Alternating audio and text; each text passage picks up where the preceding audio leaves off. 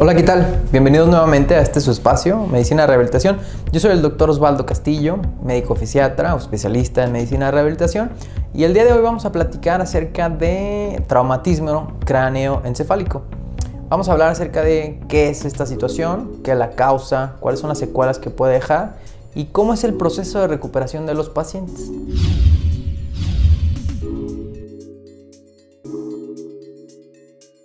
Entonces, cuando hablamos acerca de este trauma, nos referimos a una fuerza externa, es decir, un golpe directo a la cabeza, un choque automovilístico, una caída, que le pega al cerebro, le pega a la cabeza y esto transfiere la energía al cerebro con suficiente fuerza como para parar las funciones cerebrales de manera momentánea. Casi siempre esto se ve reflejado en la pérdida del estado de alerta del paciente. El paciente se desconecta, se desmaya y tiene algo que se conoce como amnesia retrógrada o anterógrada.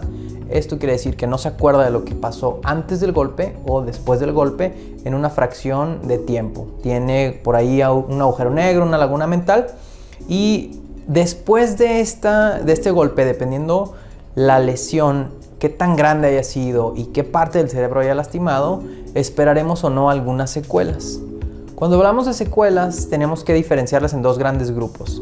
La mayoría de las veces, las más evidentes, son las secuelas motrices. Esto quiere decir pérdida del control de una mano, de una pierna, de la capacidad para caminar, la capacidad para usar mm, movimientos muy finos. Y las otras que son como conductuales o cognitivas, que son estas, esta pérdida de algunas funciones que llamamos nosotros como médicos como mentales superiores. Esto habla de la capacidad del habla, por ejemplo, la capacidad de realizar cálculo, la capacidad de introspección, de prospección, de poder funcionar en un ambiente un poco más complejo y tener relaciones familiares, también problemas con el estado de ánimo. Entonces estas dos secuelas son las que hay que tratar y es importante identificarlas.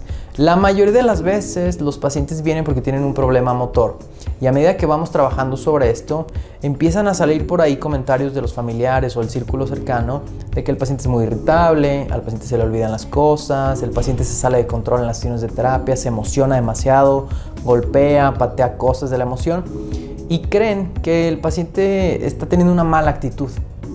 Entonces esto es importante decirlo estas también son secuelas y hay que trabajarlas. Hay que trabajarlas a través del uso de algunos medicamentos como estabilizadores del estado de ánimo, algunos medicamentos que se conocen como antipsicóticos que disminuyen un poco esta eh, irritabilidad, esta agresividad y a través de terapia cognitiva. En el centro o en la mayoría de los centros de rehabilitación especializados existen, además de la terapia física que se enfoca en lo motriz, la terapia de rehabilitación cognitiva. Aquí vamos trabajando desde las funciones más básicas a las más complejas. Lo primero que hacemos, por ejemplo, es captar la atención del paciente. Si el paciente puede mantener la atención en una actividad o en alguna situación por un determinado tiempo, un periodo de tiempo de más de 30 segundos, ya nos permitirá entablar una conversación para poder trabajar con él en las sesiones de fisioterapia, por ejemplo. Entonces estos dos eh, mecanismos tienen que trabajarse al mismo tiempo. Si el paciente no puede mantener su atención, será muy difícil que le expliquemos la realización de un ejercicio y él lo pueda estar haciendo para recuperar la movilidad. Otras de las cosas que necesitamos trabajar en rehabilitación cognitiva es la memoria, es la retención. Muchos de los pacientes, mm, dependiendo de dónde haya estado la lesión, recuerdan cosas que sucedieron hace mucho tiempo, pero cosas que acaban de suceder, que les acabamos de explicar, no las recuerdan. Entonces esto irrita mucho o se le hace muy pesado a su círculo cercano, a sus cuidadores primarios, porque pareciera que el paciente no tiene interés, no le importa o está intentando molestarlos, pero no es así. Entonces, la idea de este video, aparte de explicar esta situación de qué es el traumatismo craneoencefálico, es hacer un poquito de énfasis en estas alteraciones conductuales o cognitivas para que los, los familiares, sobre todo de los pacientes, estén un poco más concientizados y puedan tener un poco más de tolerancia.